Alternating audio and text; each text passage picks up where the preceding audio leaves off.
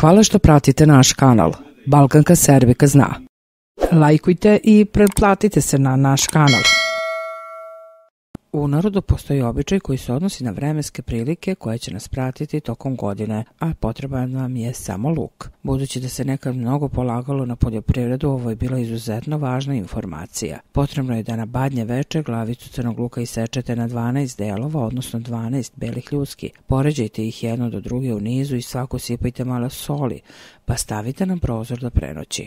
Najstariji član porodice sutradan na Božić treba da razgleda ljuske. U onoj koja ima vode u tom mesecu će biti kiše. Ako je neka ljuska suva, taj mesec će biti sušan. Banje veče i Božić predstavljaju jedne od najradosnijih hrišćanskih praznika.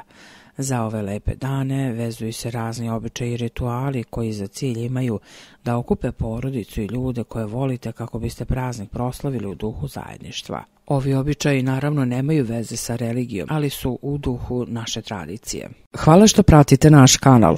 Balkanka Serbika zna. Lajkujte i pretplatite se na naš kanal.